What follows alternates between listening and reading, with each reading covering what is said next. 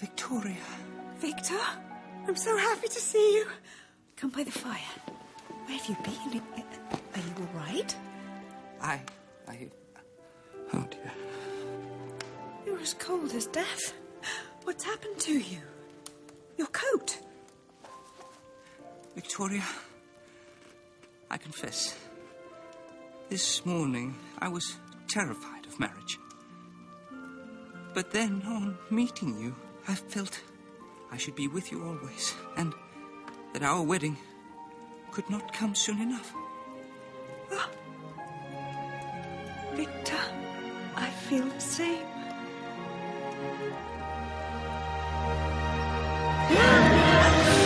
Victoria, I, I seem to find myself married.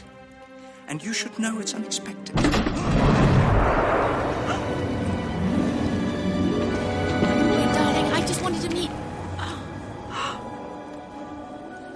Darling? Who's this? Who is she? I'm his wife. Victor? Victoria, wait, you don't understand. She's dead. Look.